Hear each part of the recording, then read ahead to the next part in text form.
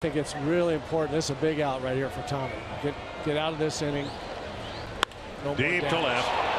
Rosario back, back, and off the wall. Moustakas to third. He's going to be waved in with the throw coming to third base. Here's the throw to the plate. He's out. He is out. Suzuki put the tag on him. Rosario threw to third base. Plouffe was there and wheeled and threw to the plate. And the Royals lose a costly out at home plate. Another assist for Rosario, who comes off with his left arm, not the throwing arm, but his left arm hanging by his side.